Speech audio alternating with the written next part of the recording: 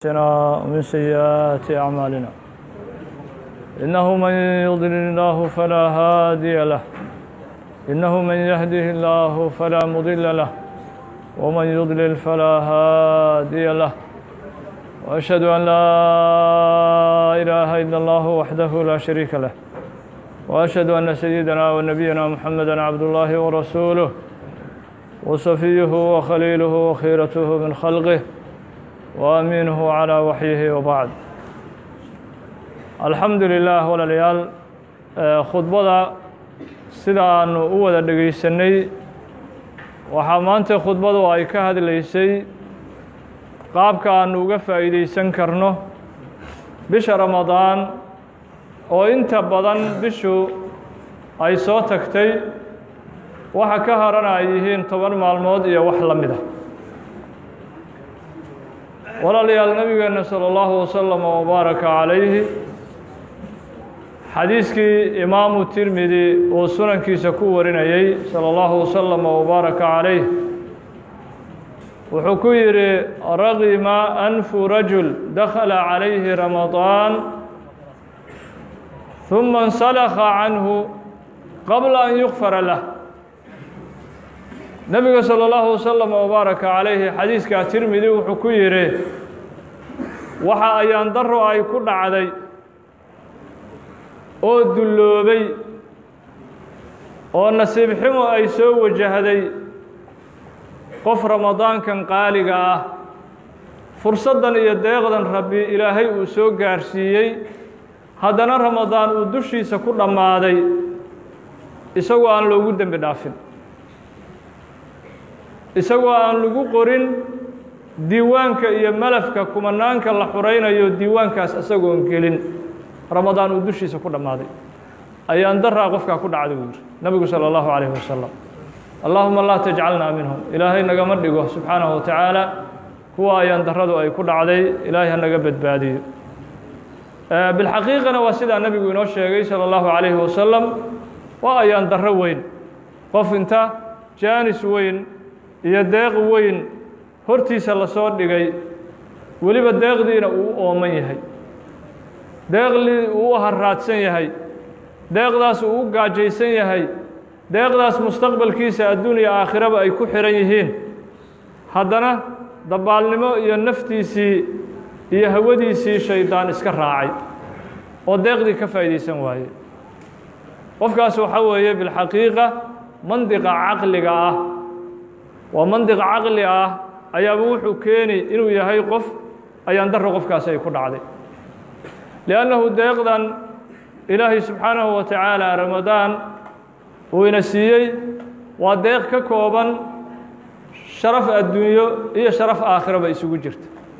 Waa deeq ka kooban horumar adduunyo iyo mid aakhiraba oo hortaada taalla oo lagu leeyahay ka faa'iidayso. Waa jawhar qaali ah jawhar qaali ah محايل رمضان دقيقة كستا أو كل حجرتا هي وقالي دقيقة كستا أو كسوم مرت رمضان هذه عاد كوب بحسو دقيقة لها رمضان ميلا المناسبة وهاي عاد كوب بحسو واد خسارت الحقيقة الدنيا ذا وسخ أيا واحد اللي راقف كي هل دولار كوب بحية ميلا المناسبة وهاي واخسارة لهنا سوما وسخ الدنيا ذا الله لكم ka waran hal saac ama hal daqiiqe ramadaan ka mid a qofkii macno darro ay uga baxdo. Waxaa la dhihi karaa waa qof caqligiisa caadigaa xataa uu maqan yahay. Caqli kii diineed iska dhaafe caqligii bashariyadda lagu yiqiinay ee wanaagga lagu garan lahaa ayaa qaybu ka maqanta. Qayb ayaa ka maqan. Ramadaan walaalayaal waa jawhar qaali ah. Nebigeena salى اllahu waslama wbaaraka calayhi wuxuu tilmaamay xawaa'ijta iyo danihii lalahaa bishii lagu gudan lahaa bishii danahaaga oo dhan aad ku gudan lahayd dan adduunyada mid aakhiratan inay tahay. Haddaad dadba dan lahayd middii dantaada aad ku gaari lahayd waa bisha ramadaan. Nebiga sala allahu wasalam wabaaraka calayhi xadiiskii ibnu maajah uu sunankiisa ku warinayey wuxuu ku yidhi rasuulku sala allahu wasalam wabaaraka calayh walilaahi cinda kuli fidrin cutaqaa walilaah cinda kuli fidrin cutaqaa ilaahay subxaanahu wa tacaala habeen walba marka afurka loo fadhiisto kumanaanuu ilaahay xoreeya oo naarta uu ku xoreeyaa allahuma ajcalnaa minhum ilaahay nagu dar subxaanahu wa tacaala oo kuwaa naga mid ya cinda kulli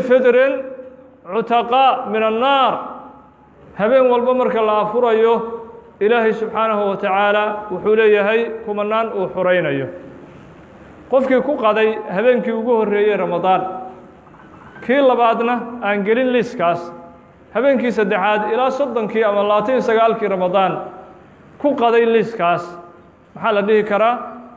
Waa qof ayaan darro u soo hoyatay. Ayaan darro qof ay u soo hoyatayo ilaahayna addoommadiisa ma dulmiyee? Waxbuu addoonkaa ilaahay ku ogaaday taqsiir iyo gaabin iyo ramadaanoo agtiisaba aan ka qiimaysnay.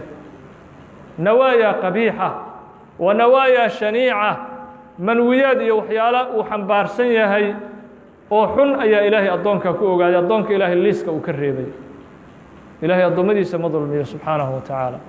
Laakiin waxa liiska lagaaga reebay haddiiba liiskii lagaa reebay oo liiska aad ku qaday waxa lagaaga reebay ayaad qabtaa وحال لقاك الرئيبي أياد ليس كاقفتا ولذلك رمضان فرصدها وسكرة ياهي أيوة وحاكم ده إن دعاء المستجابة أيتهاي يا الله ذا وحو البود إلهي ويديسته.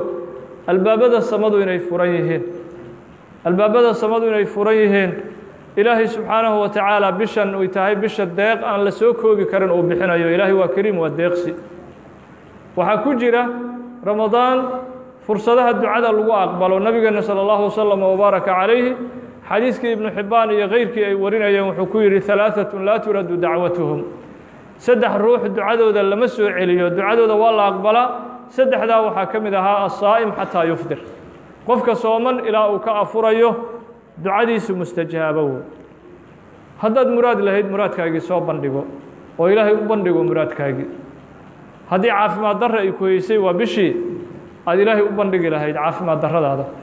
Haddii faqri uu ku hayo iyo saboolnimo waa bishii aad ilaahay u soo bandhigi lahayd jaaniskan aad uga faa'iidaysan lahayd.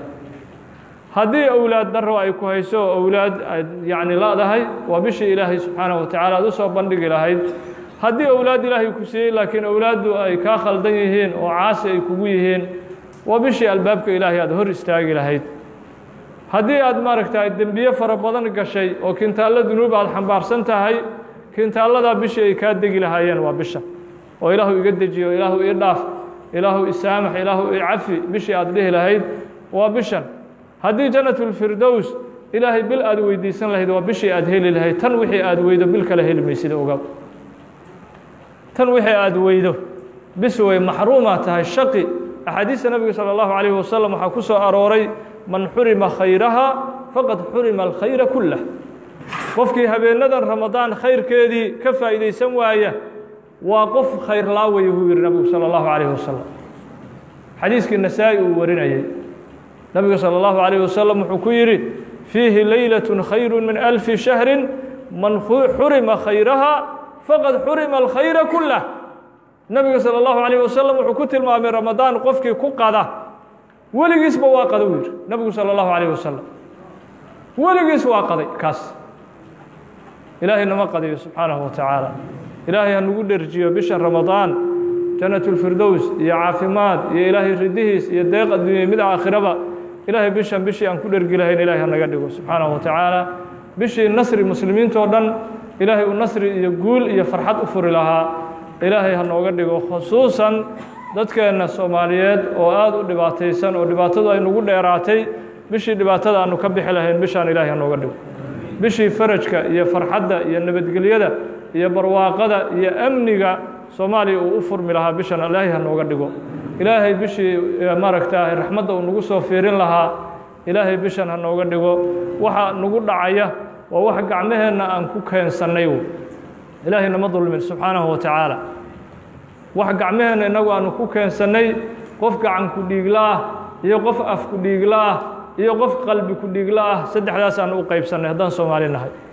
Qofkaan dhiiggii gacanta aan ku daadinin afkuu ku daadiyey.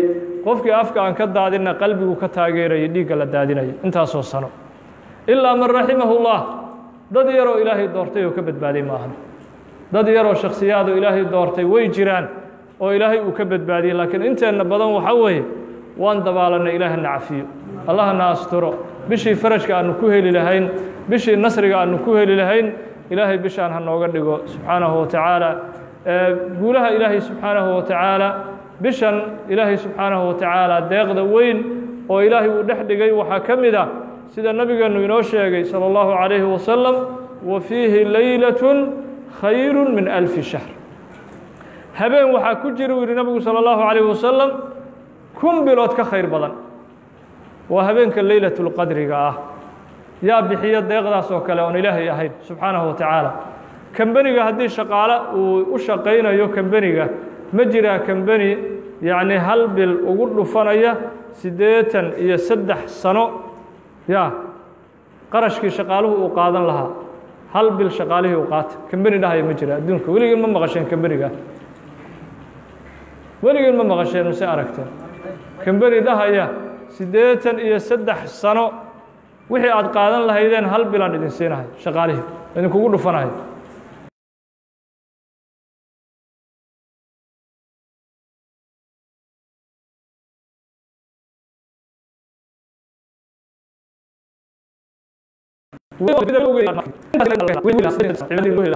Soomkii siddeetan iyo saddex sano la soomaan lahaa salaadii la tukan lahaa xajkii la xajiyin lahaa siddeetan iyo saddex xaj qur-aankii siddeetan iyo saddex sano aad akhrisan lahayd tasbiixdii iyo wardigii aad akhrisan lahayd siddeetan iyo saddex sano hal habeenuu ilaahay ku bixiyaa waa habeenada ramadaan ka mid ah waa habeenka la yidhaha leylaة اlqadri waa habeenka ilaahay jala jalaaluhu uu ku yidhi wamaa adraaka maa leylaة اlqadri leylaة اlqadri khayru min alfi shahrin maxaa ku ogeysiiyey maxaad ka taqaanaa leylatulqadri waxa ay tahay su-aaluu ilaahay dadka weydiinahay su-aashaasi waxaa weeye waa su'aalu tafkhiim.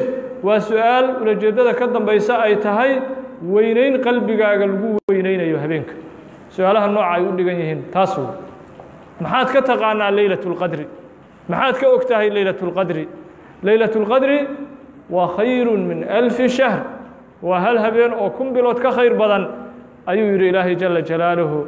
Kunka bilood waa siddeetan iyo saddex sano iyo afar bilood سيداتن إيه سدح سنة يا إيه أفر بلود وحي الشقاء قبل له إذا أردن هل كهبين على وسيرة هل كهبين أيا إلهي كوجود يا سبحانه وتعالى نبي صلى الله عليه وسلم وبارك عليه حديث كي إمام أحمد ومسند كي سكوري وحكوي رسوله صلى الله عليه وسلم أعديت أمتي في رمضان خمس خسار لم تعدها أمة من الأمم ummaddayda bisha ramadaan ilaahay wuxuu ugu deeqaa shan arrimood oo ummad aan loogu deeqay aysan jirin. Ummadihii hore oo ifkan soo maray innagu waxaan nahay aakhiru lumam adduunyada ummaddii ugu dembeysay waa ummadda nebiy llaahi moxamed salى اllahu calayh wasalam falaa nebiya bacda moxamed nebiy llaahi moxamed ka bacdi nebi kama dambeeyo. Walaa ummata bacda ummati moxamed ummatu moxamedna ummadu kama dambayso.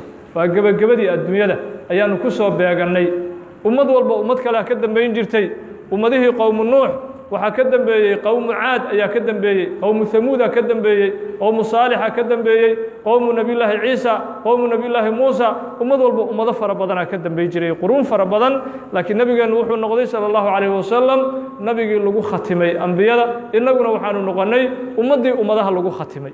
Oo ummad naga dambaynaysaah ma jirto ummatu moxamed ayagaa qiyaamuhu ku dhacaa ummatu moxamed ummatu moxamed ayagaa adduunyada lagu soo duubaa ayagaa qiyaamuhu dushooda uu ku dhacaa marka waxaanu ku soo beegannay qarniyadii gebagabada adduunku ahaa oo ilaahay adduunyada dhanba uu baabi'inayey layskuna diyaarinayey maxsharkii weynaayey iyo fagaarihii weynaa oo laysku xisaabinayey fii carasaati alqiyaama maxsharkaas uun baa na sugaya adduunyo dambe. Ma jirtayo ummado dambe oo naga dambaynaya iyo nebi dambe oo soo baxaya. Ma jiraan. Lidaalika nebigeena salى اllahu calayhi wasalam wuxuu yidhi ummaddayda waxaa la siiyey shan arrimood oo ummadii ka horreeyey aan loogu deeqin ayaa ummaddayda loogu deeqay uu yihi nabigu salى اllahu calayh wasalam arrimahaas nabiga shanta ah salى اllahu calayh wasalam ee imaam axmed musnadkiisa uu ku wariyey waxaa ka mid ahaa nebigu salى اllahu calayh wasalam wuxuu yidhi wa ina allaha yusayinu jannatahu kula yowmi min ayaami ramadaan maalin walba ee maalmaha ramadaanka ka mid a jannada ilaahay wuxuu u kordhiyaa qurux shalay aysan qabin allahu akbar. Maalin walba ziine iyo qurux hor alla ah albaabadii jannadoo la furayo waxaa siyaado u ah maalin walba in la sii qurxinayo jannada maalin walba naciim hor alla ah in loo sii kordhinayo. Barwaaqo hor allah in loo sii kordhinayo.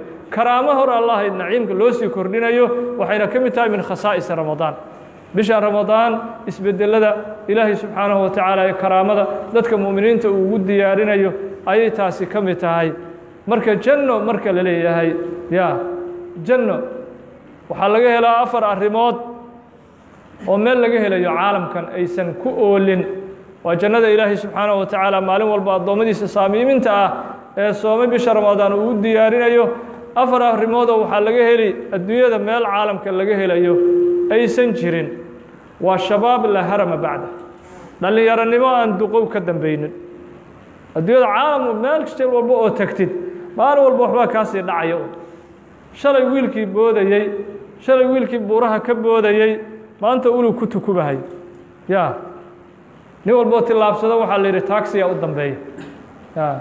Da tillaabta aad kala jiidi jirtay. Ya. Maalinba dhowr sano ka bacdi adoo taagsanayaad arka iska insaanku iska daciifu. Ya. Insaanku waa iska daciif. Habeen walba meeluu ku sii hoyanahay marka ugu dambaysana waa qabri iyo ciiddaa hoosteeda hala galo dad ducafaanu iska nahay. Ilaahina cafiye subxaanahu wa tacaala ilahay cafigiisa nugu karaameeyo. Ducafaanu iska marka dhallinyaronimo aan gabow ka dambeynin meel laga helayo jannadaa ka jirta. Jannadaasuu ilaahay subxaanahu wa tacaala maalin walba ilaahay uu u qurxiyaa oo ilaahay u siineeyaa. Dadka maaragtaay saa'imiinta ah ilaahay daacadiisa ku soo jeeda habeenkii maalintii oo dhanna sooman ayuu ilaahay u diyaariyaa subxaanahu wa tacaala jannada waxaa laga helaya waxaa weeye waa naciim laa bu'sa bacdah waa nicmo abaaru aysan ka dambeynin meesha nicmo walba iyo wax walba ood haysatid abaarnimaa ka dambaynaysa ama adaaba ka duqoobayo maalkii iyo hantidiiyo hortaada yaalla ayaad waxaad arkaysaa adigoon ka qadayn karin. Lacagtaadii akoonkii ka buuxdaa mana awoodid inaad ka qadayso gabow ama xanuunku qabtay awgiis gabow ku qabtay ama xanuunku qabtay awgiis hantidii meel walba way taallaa laakiin kama qadayn kartid kama quraacan kartid ama waaba ka dhimanaysa waa ka tegeysaa dadka kale isaga nafcinaya oo laga yaabo in badan aysan kaaga shukri qaarkood oo mahadsan yahay aysan ku dhihin xataa ayaa laga yaaba inay kaa dhaxlaan maalkaaga ay warigaan waxaa laga helayaa mar walbaba xayaat laa mowta bacdaha waa nolol oo mar walbaba aysan geeriyu ka meel walba oo baasaboorka yani ugu caalamsan adduunka haddaad qadatid meel walba casraila ku socdo. Baasaboorka ugu qaalisan waddan walba lagu tegi karo haddaad goosatid ka carari kartid kama fakan kartid. Meel walba dunida ka degto waa ka joogaa. Waddan walboo jegto kula jooga marka maxay tahay ama soomaaliya joog ama waddanka ugu nabadgelyada badan adduunka joog mar walbaba hadday ku dili lahayd.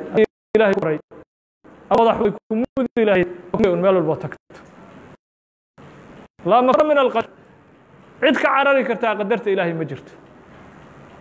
Bini aadamku tiknolojiye walba uu sameeyey wax walba farsamo walba uu isku dayey laba shay waa la-yahay inuu iska badbaadiyo dhimashada iyo cumrigiisa inuu hal daqiiqad ku darsado tiknolojiyad kastoo bini aadamku uu gaaray farsamo kalbo bini aadamku gaaray laba shayba waa la-yahay qof weli adduunka wax walba oo sameeyo hanti hal daqiiqad ku darsan waayo cumrigiisa waa lala-yahay oo yidhi hal daqiiqad ku darsaday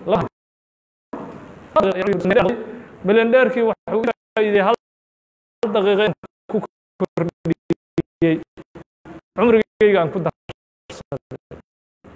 meeshii maxfuud igu qoray daqiiqada igu kordhay markay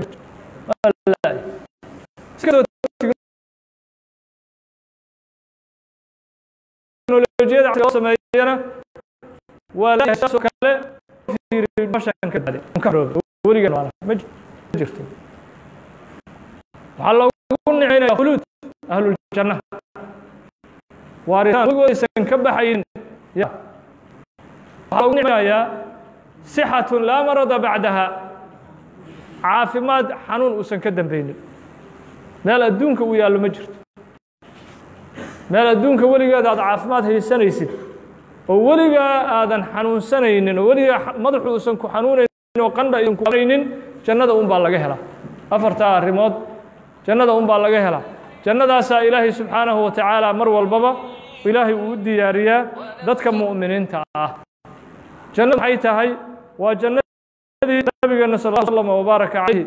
حديث البخاري ورنيي نبي صلى الله عليه وسلم وبارك عليه وكيري ولو أن امرأة من أهل الجنة اطلعت إلى أهل الأرض لأضاءت ما بينهما ولملأت ما بينهما ريحا.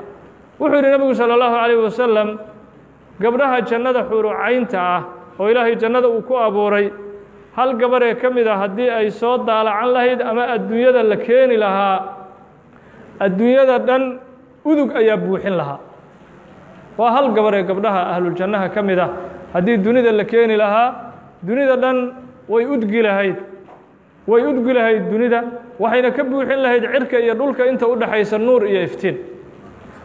Walanasibuhaa calaa ra'siha khayru min addunya wamaa fiiha gabadha ahluljannada shaashka madaxa u saaran ayaa adduunyada iyo waxa ku dhex jira ka khayr badan uu yidhi nabigu salى اllahu عalيه wasalam waa shaash shaash gabarh ahluljannaha madaxeeda saaran xadiiska bukhaariga saxiixiisa ku wariyey nebigu salى اllahu عalayه wasalam wuxuu ku yidhi shaash gabadha ahluljannaha madaxeeda saaran ayaa khayru min addunya wamaa fiiha waxa adduunye ku dhex jira ee dahab iyo doolar iyo saraha dhaadheer ah saarka shaashkaas madaxa u saaran gabadha ahluljannaha ah ayaa ka khayr badan.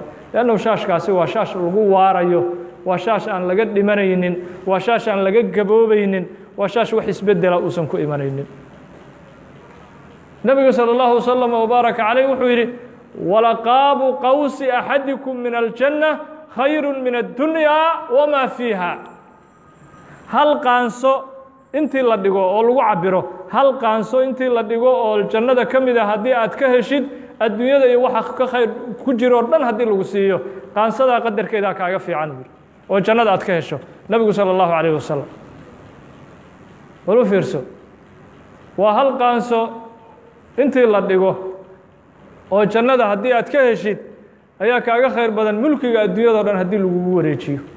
Maxaad ka dheefi mulkiga addunyao dhan haddii lagu waa ka gaboobi oo waa ka geeriya kugu imaanaysa waa ka xanuunsanaysaa waa ka tegeysaa isaga dhan laakiin meeshaas hal mitir oo kale aan dhammayn haddaad jannada ka hesho adduunyado dhan iyadaa ka khayr badan uu yihi nabigu salى اllahu عalayh wasalam jannadaasaa ilaahay maalin walba u diyaariyaa oo maalin walba ilaahay u qurxiyaa dadka saa'imiinta ah waa khisaasha iyo arrimaha lagu karaamaynayo dadka ahluljannaha ah ilaahay xadiisu qudsi wuxuu ku yidhi oo bukhaariyo kayrkii ay warinayaan acdadtu licibaadiya الصaalixiin maa laa caynun ra'at walaa udunun samicat walaa khatara calىa qalbi bashar.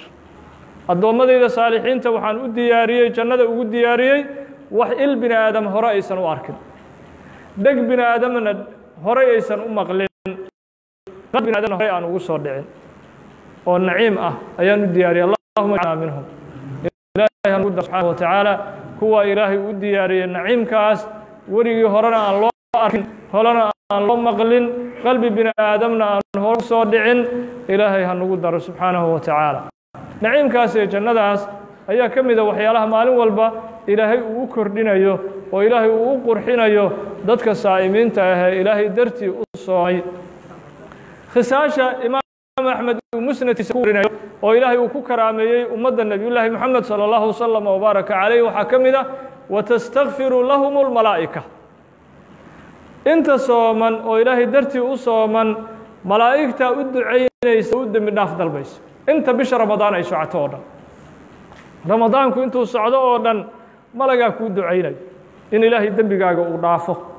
Laakiin waa soomkaagu hadduu yahay waardiyeysatay ood ilaashatay ood xafidatay waxyaalaha soomka nusqaaminaya ama soomka burinaya ilaalisay liannahu nabigu salى اllahu wasalam wbaaraka calayhi wuxuu ku yidhi xadiiskii saxiix ahaa man lam yadac qowla الzuuri wاlcamala bih falaysa lilahi xaajaة fi an yadaca طacaamahu wa sharaabah qofku hadduusan dembiga iska ilaalin intuu sooman yahay iyo hadallada beenta ah ilaahay wax dana kama lahan gaajadiisa iyo haraadkiisa ilaahay hadduusan ku danayn ma ka mid noqonaysaa dadka loo dembi dhaafo ilaahay hadduusan wax dana kaa lahayn ma ka mid noqonaysaa dadka liiska ahluljannaha lagu qorayo habeen walba Habeen walba lagu qorayo kama mid noqonaysid? Haddaad doonayso ilaahay soomkaaga inuu daneeyo haddaad doonayso ilaahay inuu ku aqbalo haddaad doonayso liiska ahluljannaha in ilaahay uu kugu qoro haddaad doonayso malaa'igtu inay dembi dhaaf ilaahay kaaga weydiiso waa inaad soomkaaga ilaashatid beenta anta iyo isku diraalaha iyo qabyaaladda iyo foolxumada walboo ilaahay carag gelinaya bulshada xuquuqdeediina dhibaya iska ilaali haddii ka soomkaagu wuxuu noqonaa soom aan wax macnaa ku fadhin. Naftaadii unbaad dhibaysaa oo gaajo aad ku dhibaysaa iyo haraad ee faa'iido weyn kama helaysid soomka aad sooman tahay. Haddaadan soomka sooman tahay aadan ku dhowrsan oo qof soomkiisa ku dhowrsanaya aadan ahayn oo dhegaha aadan ka soomin oo carab aadan ka soomin oo aadan ka soomin lugaha oo gacmaha aadan ka soomin xibnahaaga dhan waa inay ilaahay dartii waa inay u sooman yihiin. Marka aad doonayso inaad ka mid noqoto dadka fadaa'ilkan faraha badan ilaahay ugu deeqayo subxaanahu wa tacaala waxaa ka mid a waxyaalaha ilaahay uu ugu deeqayo ummaddan ee nebigeena salى اllahu عalayh wasalam uu inoo sheegay lakhuluufu fami saa'im adyabu cinda allahi min riixi اlmisk nebigu salى اllahu عalayh wasalam wuxuu tilmaamay qofka sooman afkiisa ilaahay waa uga caraf badan yahay miskiga iyo catarka midka ugu qaalisan limaada afkaas hadduu xataa urayo oo uu qarmoon yahay urkaasi iyo qarmoonkaasi waa juhdi iyo gaajo ka dhalatay ilaahay dartiisa loo gaajooday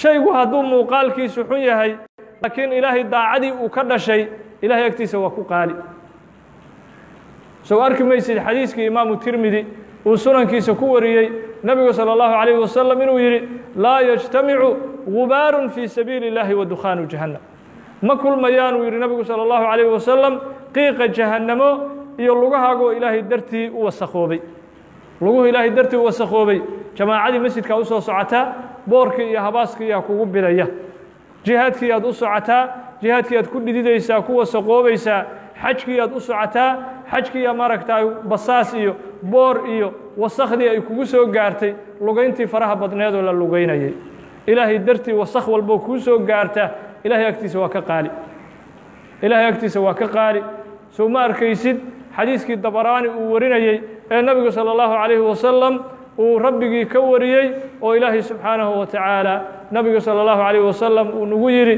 in allaha tacaala yubaahi malaa'ikatahu biahli اlmowqif ilaahay malaa'igtiisu ugu faanaa ahlulmowqifka ahlulmowqif waa dadka carafa isugu yimid oo muddo aan soo qubaysanin oo muddo aan soo shanlaysanin oo muddo aan saliid ismarin oo muddo aan catar iyo barafuun ismarin ilaa catarkii lama marsan karo xilligii xajka waa xaaraan.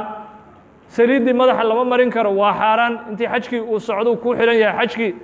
Haddii aadan gaarin taxallulkii xilligii la xalaal noqon lahaa aadan gaarin qofku marka wuu basaasan yahay maalinta carafo la tegayo. Maalinta carafo la tegayo waa basaasan yahay. Catar isma marin karo barafuun isma marin karo saliid ma marin karo isagoo basaasan oo ilaahay dartii laakiin u basaasan ayuu halkaa istaagayaa bannaanka carafo ilaahay marka nabigu salى اllahu عalيه wasalam wuxuu inoo sheegay inuu malaa'igtiisa ugu faanayo uu leeyahay unduruu ilaa cibaadi addoommadaydaa fiiriya jaa-uunii shucثan gubra waxay halkaa soo istaageen iyagoo basaasan ayay ii yimaadeen ilaahay dartiina u basaasan ushhidukum anii qad gafartu lahu waxaan markhaati idinkaga dhigay inaan dembigoodii dhaafay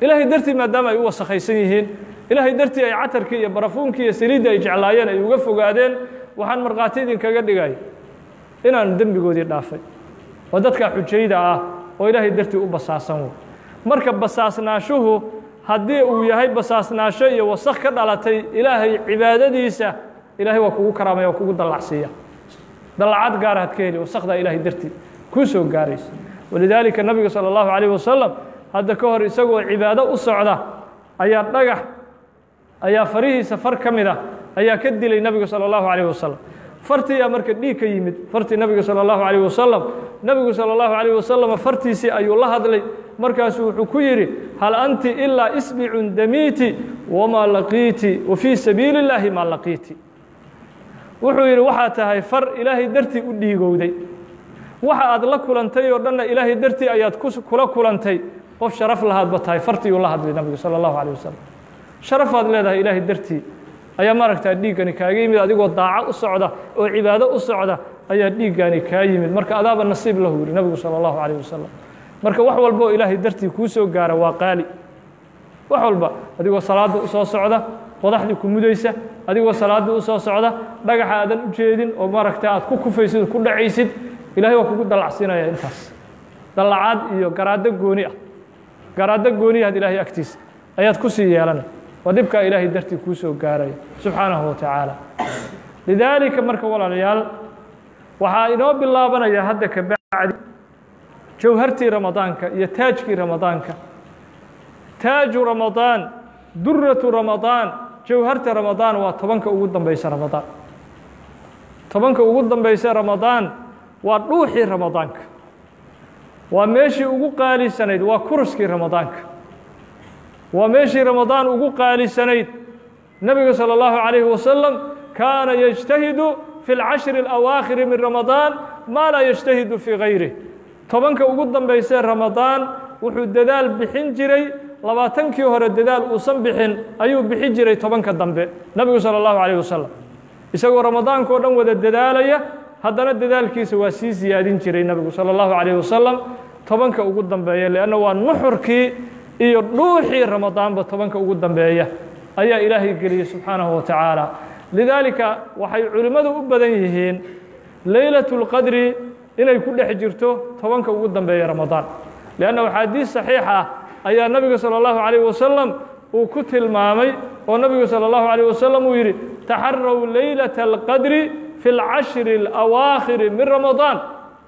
leylaة اlqadri ka fiiriya oo ugu dadaala tobanka ugu dambeeya ramadaan tobanka ugu dambeeya ramadaan si gaara ka fiiriya oo ugu dadaala leylaة اlqadri uu yihi nabigu salى اllahu عalيه wasalam wa kaana yactakif fi اlcashri اlawaakhir min ramadaan nebigu salى اllahu عalيه wasalam tobanka ramadaanka ugu dambeeya gurigiisa ma uusan aadi jirin masjidkuu ku ictikaafi jiray masjidka ayuu nebigu salى اllahu عalيه wasalam gurigiisa ahaan jiray tobanka ugu dambeeya ee ramadaan yunaaji rabbah wayadcuu rabbah wayatadarac ilىa rabbihi subxaanahu wa tacaala isagoo rabbigii la faqaya oo rabbigii baryaya oo rabbigii su-aal weydiisanaya oo rabbigii subxaanahu wa tacaala ummaddiisana u baryaya tobankaa ugu dambeeya nabigu salى اllahu عalيه wasalam hoygiisa iyo gurigiisu masjidkuu ahaan jiray rasuulka salى اllahu عalيه wasalam waxaa umunaa caaisha laga wariyey inay tiri umunaa caaisha kaana salى اllahu wslm wbaaraka calayh إida dakhala alcashru اlawaakhir min ramadaan shadda mi'sarah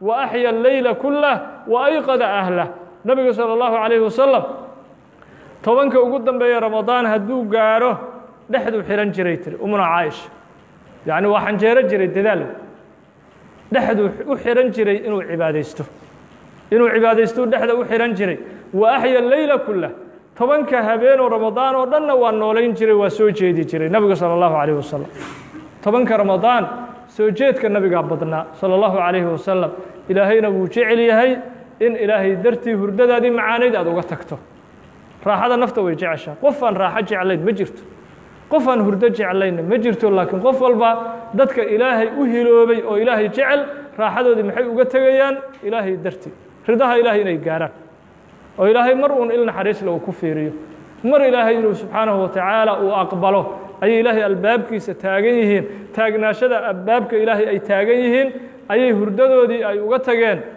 تتجافى جنوبهم عن المضاجع يدعون ربهم خوفا وطمعا ومما رزقناهم ينفقون فلا تعلم نفس ما أخفي له من قرة أعين جزاء بما كانوا يعملون إلهي سبحانه وتعالى وحليه جل جلاله dadka ahlulkhayrka astaanta iyo calaamada lagu yaqaano joodariyaasha firaashiyaalka sariiraha meelaha naftu ay jecelyahoo dhan way ka fogaadaan. Habeenkii yadcuuna rabbahum khawfan wa طamaca ayagoo rabbigood u caabudaya cabsi rabbi ay ka qabaan iyo damac ay damcayaan ilaahay naxariistiisii iyo jannadiisii.